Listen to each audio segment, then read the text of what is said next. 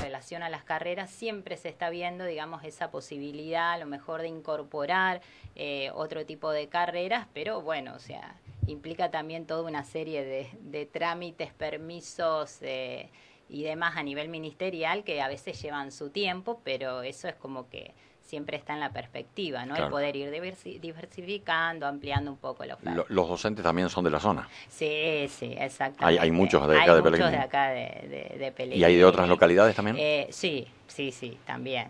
San Jorge, eh, bueno, el Trébol, por supuesto, Pellegrini, muchos docentes de Pellegrini, sí, docentes de toda la zona, alumnos de toda la zona, realmente es un, es un centro en el cual eh, se convocan desde alumnado a docentes eh, de toda la región. Bueno, lo que, lo que la gente de Pellegrini puede ver, mm, por ejemplo, es el hecho de, la, de las traffic que a la tardecita salen y, y, que vuelven allá por las 11, 11 y media de la noche. Bueno, le decimos a la gente que esas traffic son las que transportan de pronto escolares al, instituto de ustedes. Exactamente, sí, tenemos eh, tráfico que vienen de San Jorge, de Cañarrosquín, de Pellegrini, eh, de María Susana, Piamonte, es decir, porque realmente concentra toda la zona.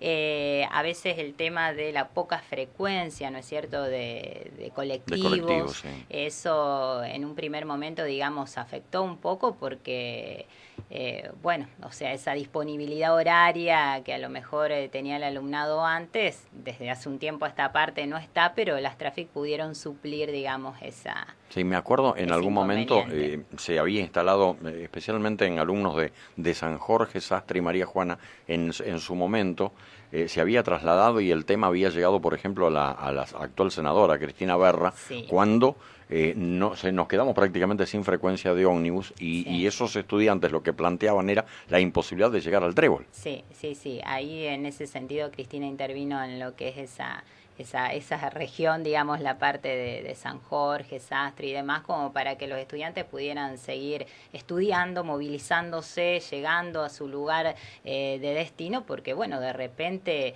eh, lo que a lo mejor tenía proyectado moverse no no, no, no, podía llevarse a cabo. Entonces, bueno, ahí hubo una intervención realmente muy positiva. Eh, para aquellos interesados, ¿qué deben presentar a la hora de inscribirse? A la hora de inscribirse eh, tienen que presentar, digamos, el certificado de quinto año. A veces eh, lo que sucede, digamos, en lo que es en, a esta altura del año, digamos, donde aparece como una certificación en, en trámite, porque, bueno, todavía están... No está el certificado. Exactamente. Y en el caso de, eh, digamos, de los docentes, por ahí se les pide algunos eh, exámenes médicos, por ejemplo, que tiene que ver con lo fonoaudiológico y, y demás, ¿no? Pero que por ahí en las tecnicaturas eh, no.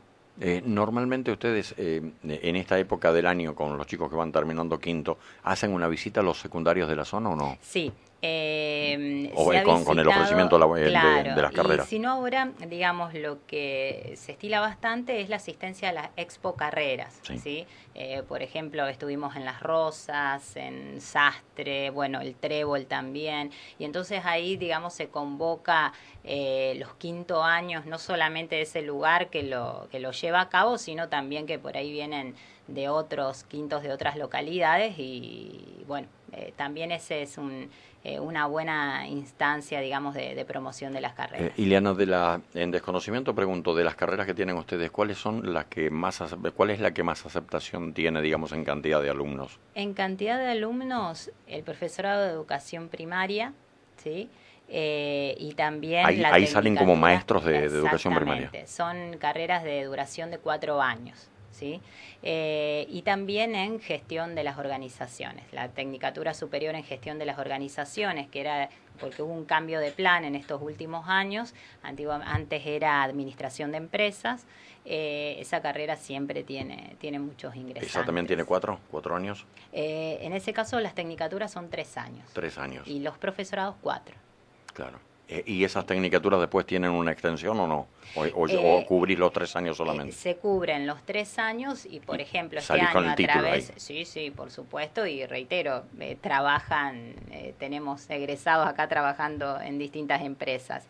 y, por ejemplo, este año a través del convenio, esta, esta validación, ¿no es cierto?, del título con respecto a la posibilidad de decir, bueno, lo presento y puedo seguir eh, complementando mi, formación, por ejemplo, como mencionaba antes, en relación a una licenciatura. Claro, ¿la inscripción tiene que ser presencial?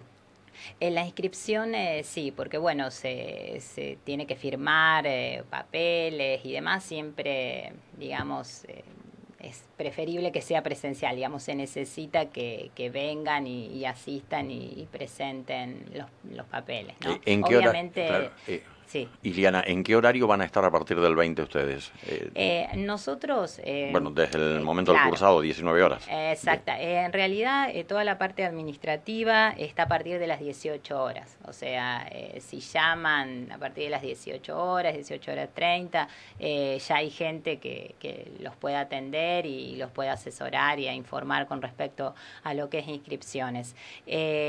así que desde ese horario hasta 22 horas eh, está la posibilidad de, acercarse al instituto. Siempre eh, también os llaman por teléfono o por ahí está el mail del instituto, el Instagram del instituto.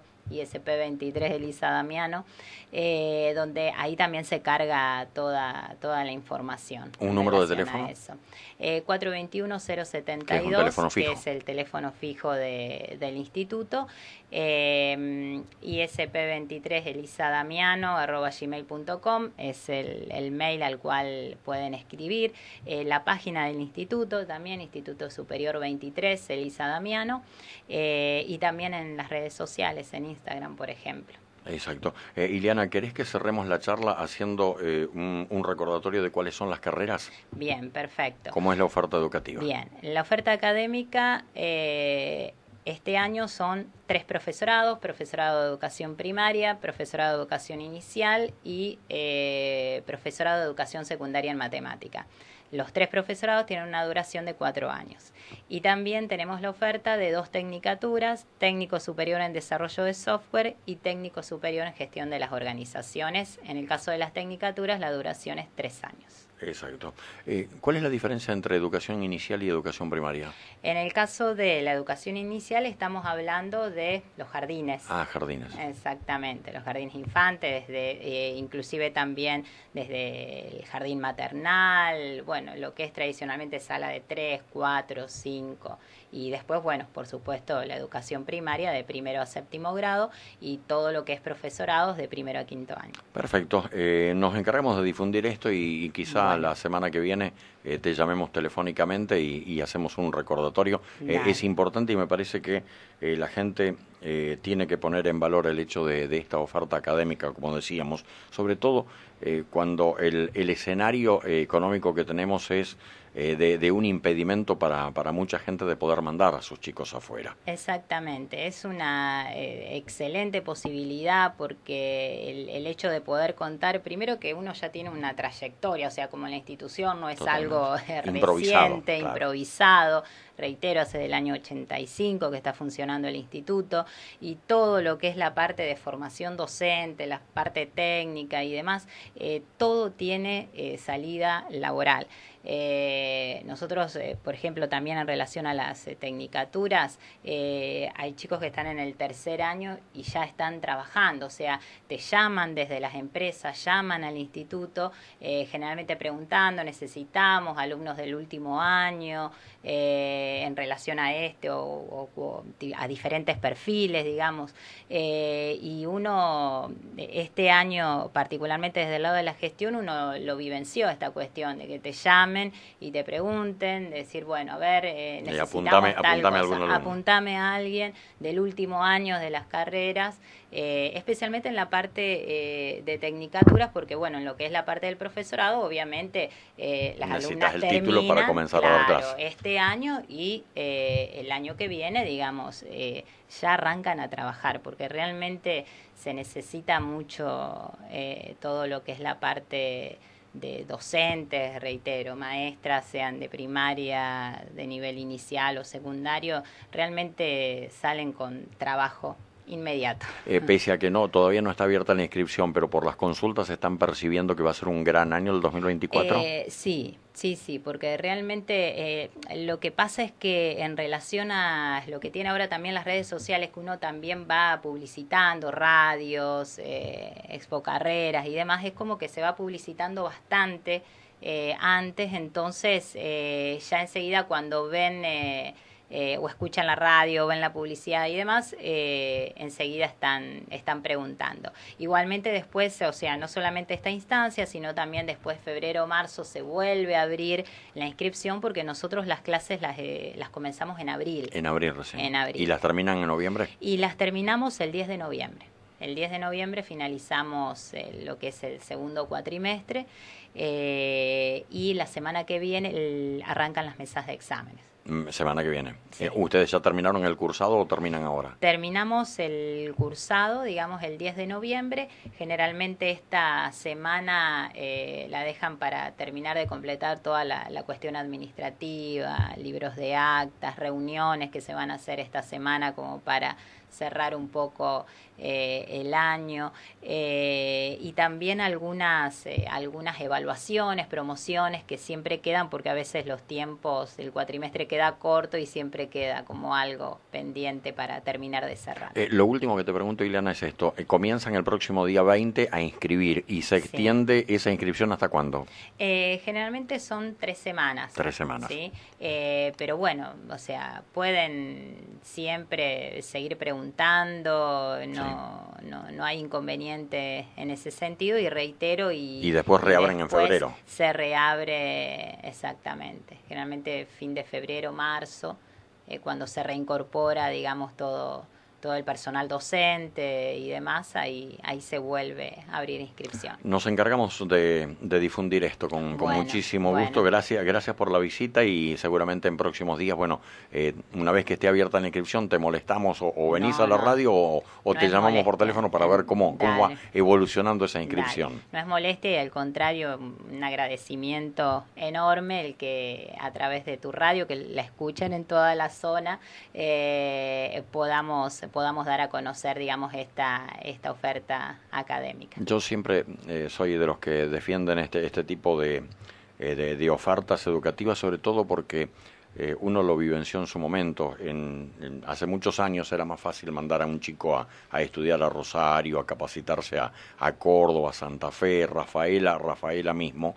y hoy eh, cuáles son las limitantes o los impedimentos que pueden llegar a tener las familias para que sus chicos vayan a estudiar.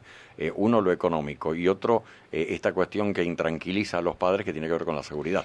Claro, exactamente. Y aparte, esta cuestión de pensar que que particularmente resulta como mucho más significativo el hecho de decir eh, a veces hacen, supongamos, tecnicaturas eh, tres años y después tienen la posibilidad eh, de, seguir ampliando, digamos, su, su, formación, como les decía, a través de, eh, de, especializaciones, de licenciaturas. Eso es, es muy importante porque a veces pareciera que la, la oferta académica de la ciudad es como que te da una carrera, digamos, más prolongada, ¿no es cierto? Pero bueno, a veces es tener esos títulos de base ¿sí? esas tecnicaturas, reitero, en el caso de las tecnicaturas, porque la, formación docente va por otro lado, ¿no? La formación docente vos no la tenés a distancia, eh, es necesariamente presencial. Pero en el caso de las tecnicaturas, que por ahí hay, hay mucha oferta y nosotros defendemos la presencialidad.